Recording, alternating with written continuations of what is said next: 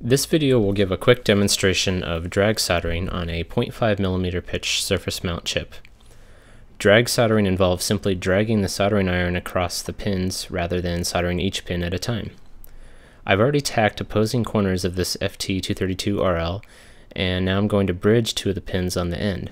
This is my trick to use just the right amount of solder. It's very easy to create a lot of bridges otherwise. Now apply liquid flux to the pins. The flux helps clean the joints and also to spread the heat around. It's actually easier to use a huge tip rather than a small one.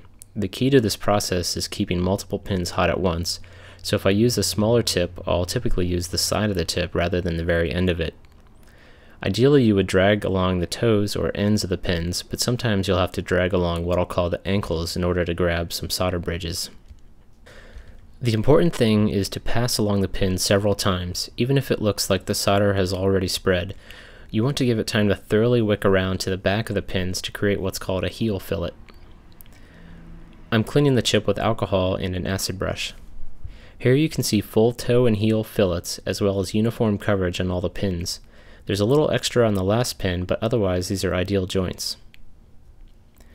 The amount of solder will obviously vary for different size chips and pin pitches, so you'll have to do some experimentation.